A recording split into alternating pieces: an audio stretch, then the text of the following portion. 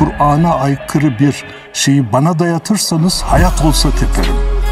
Hayat olsa kabul etmem. Ya da haksızlık kimden gelirse gelsin, kime yönelik olursa olsun mazlumdan yana zalime karşı. Zalim babam da olsa, mazlum düşmanım da olsa. Benim ne yaptığımı Allah biliyor. Ben halkım için savaşıyorum. İnsanların ne düşündükleri umurumda değil. Müslüman da olsa, gayrimüslim de olsa onun kul hakkına tecavüz edemez. E peki şimdi gelin bir de uygulamaya bak.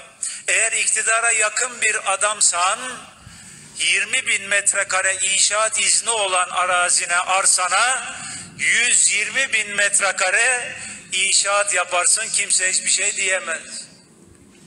Peki iktidara muhalifsen, iktidar partisinden değilsen o zaman 20 bin metrekareyi bile zor yaparsın. Bununla ilgili 40 tane yaşanmış olayı anlatabilmek mümkün.